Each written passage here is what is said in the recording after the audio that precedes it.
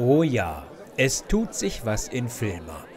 Der aufmerksame Beobachter wird erfreut registrieren, dass der Marktflecken so langsam aus dem Dornröschenschlaf erwacht. Das erste Filmacher Weinfest war bereits ein großer Erfolg. Es hat allen viel Spaß gemacht. Das Feedback von den Leuten, von den Gästen, die da waren, das war auch äh, durchaus positiv. Und ich denke, ähm, wir werden im nächsten Jahr auch ein, äh, ja, eine Wiederholung machen, ein zweites Weinfest dann in Filmer haben. Auch die Winzer haben gesagt, dass es Spaß gemacht hat. Und ich denke mal, da können wir nächstes Jahr drauf bauen. Und vielleicht kriegen wir noch mal ein, zwei Weinstände dann mehr. Bürgermeister Matthias Ruppröder freut sich aber auch besonders, dass das kulinarische Angebot in Filma zunimmt.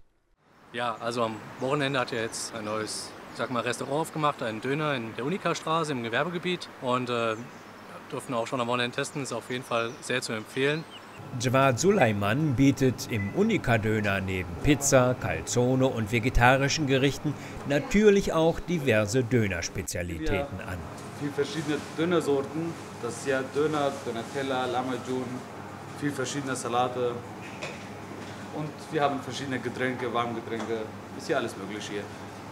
Grundsätzlich wird auch ein Lieferservice angeboten, doch ist in den ersten Tagen der Andrang der Kundschaft überraschenderweise so groß gewesen, dass der Service ins Stocken geraten ist. Das ist ja ein bisschen traurig, wenn man ruft an und äh, keiner dran geht. Äh, ist das halt ist ja durch den viel Betrieb seit den Öffnungstags bis jetzt hier.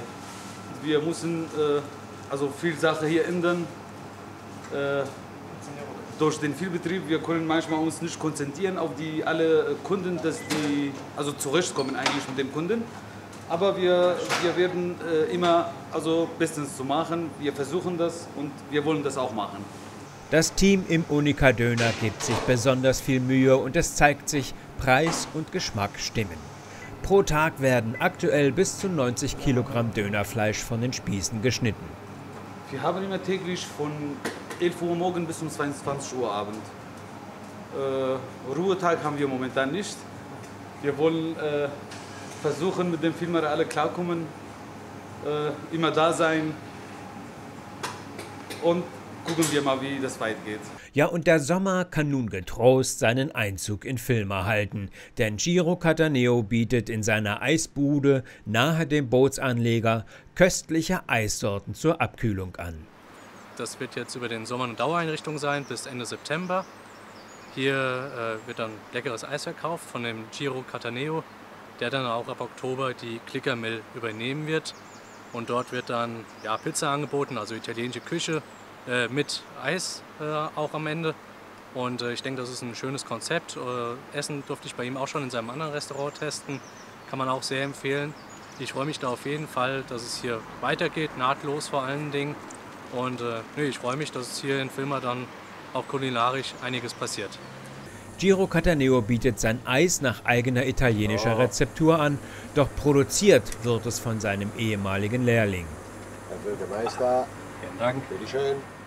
Seine Eissorten wechseln ständig und sind der Saison angepasst. Mango ist das, das Nonplusultra-Produkt. Der ist wirklich mit Frucht gemacht und alles im dran. Blutorange auch, aber Mango läuft immer. So, Blutorange ist immer der Moment, die Leute haben Lust, dann auf einmal keinen Bock mehr, deswegen tun wir wechseln. Also machen wir, was weiß ich, also eine Jogurette zum Beispiel oder eine, eine, eine, eine Mandarine oder eine, von mir aus eine Orange, ein neues Frucht. Also dass die Leute irgendwie sagen, okay, was haben wir nächste Woche, beziehungsweise ich komme dahin, was weiß ich, der Zeit, so jetzt Erdbeerzeit zum Beispiel, jetzt haben wir so frische Erdbeerzeit. So, wechselt sich ständig bei mir. Kleine Behälter, aber immer frisches Eis. Das ist mein Motto. Giro Cataneo hat geöffnet ab Also es kommt darauf an, tagsüber auf jeden Fall zwischen 10 und 11. Später ist es um halb 12 eigentlich. Wir, wir versuchen den ganzen Tag hier zu bleiben. Damit die Leute, so die Fahrradfahrer, die Fahrradfahrer zum Beispiel oder die Einwohner zum Beispiel wissen, wo wir sind. Jeden Tag. Außer wahrscheinlich, wahrscheinlich, ich spekuliere über Montag nicht. Weil Montag ist über alles geschlossen und dann versuche ich auch so, so einen Tag, mindestens einen Tag in der Woche, so mit, meiner Familie, mit, mit etwas so mit meiner Familie zu unternehmen. Mango, Banane, Zitrone, Blutorange, sehr, sehr schmackhaft, Erdbeer, Waldmeister. Giro Cataneo stammt aus dem italienischen Piemont. Genau, richtig. Nur die gute Kirsche, Trüffel, Steinpilze, gute Barolo, Barbaresco und so weiter und so weiter. Man kann viel davon reden. Schönste Land. Also ich finde es eine tolle Region, Piemont. Ihm liegt die Liebe zum Eis schon im Blut, denn seine Großeltern haben bereits erfolgreich Eis hergestellt. Ich bin da so 40 Jahre in dieser Branche.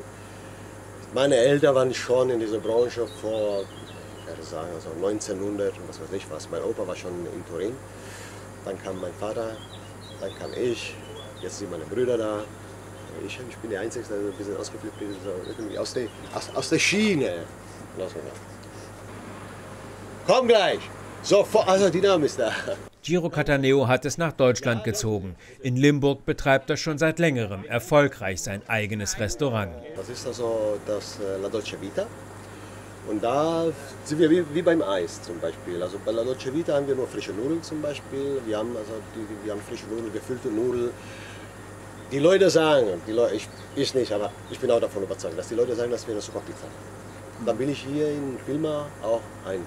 Also eine echt italienische Pizza, beziehungsweise ich habe mir vorgenommen, hier in Filma, vielleicht ist zu viel, was ich mir vorgenommen habe, ich versuche es zu schaffen, ein echt italienisch-neapolitanische, also aus neapolitanischer Teig, also eine richtige Pizza daraus Also mit Mozzarella, ein, ähm, wie soll ich sagen, das ist ein Geheimnis, den Teig kann ich nicht verraten. Ibrahim Yalzin wird die Klickermill im September aufgeben und sich auf seine Pizzeria La Luna in Städten konzentrieren.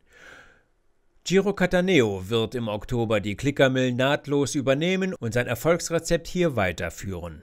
Ich, mich interessiert die Location eigentlich, mich interessiert der Laden. ich fand den Laden sehr schön und sehr hochwertig. Deswegen, also ich möchte, dass in den Laden also wirklich eine richtige Küche reinpasst. Ich möchte der, der, der, der, der Konkurrent von niemand sein, weil jeder hat seine Küche, beziehungsweise ich will nicht sagen, dass der, was der kocht, koche ich besser. Nein, ich koche, ich bin ich, ich koche auf meine Art ich muss erstmal das Kind kennenlernen.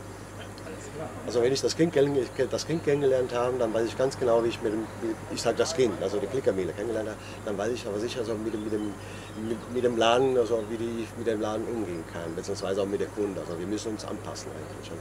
Ob ich reich werden will oder nicht, interessiert mich absolut nicht. Ich habe Spaß daran. Mein Motto ist einfach nur, also ich bin motiviert eigentlich.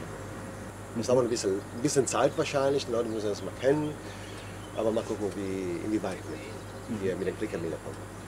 Nun liegt es an den Filmern, den neuen Gastronomen geduldig die Zeit zur Eingewöhnung zu geben und aus den jungen Trieben durch ständiges Wässern starke Bäume wachsen zu lassen. Musik